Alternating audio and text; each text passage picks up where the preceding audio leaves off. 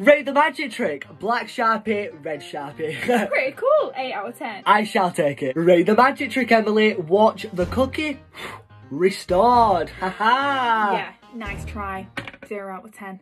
Now, Emily, rate this magic trick. If I could somehow make this Coke bottle disappear, would that deserve a follow? Yeah, of course, but there's no point even trying, so you might as well give. Oh, And what did that magic trick deserve? A follow.